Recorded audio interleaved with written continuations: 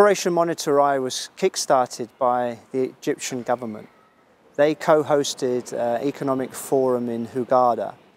And as a result of uh, discussions around the Economic Forum, they decided to embark on this unprecedented two months of focused action against illicit trade and counterfeiting.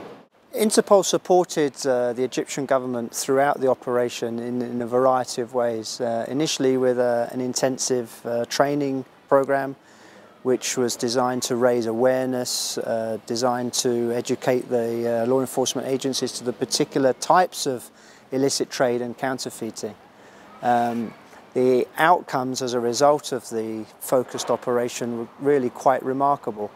The types of product that were seized also included not only typical what we see from uh, counterfeiting and illicit trade, but also uh, works of art, over 140 pieces of works of art which go back to the Ali dynasty, which was the um, informative forming times of, the, of what is now recognized as modern Egypt, being exported to uh, the United States valued as priceless by the Egyptian government, having been stolen over a number of years from uh, various museums, having been stolen from uh, the Minister of Culture's warehouses and were seized by uh, law enforcement agents under the umbrella of this particular operation.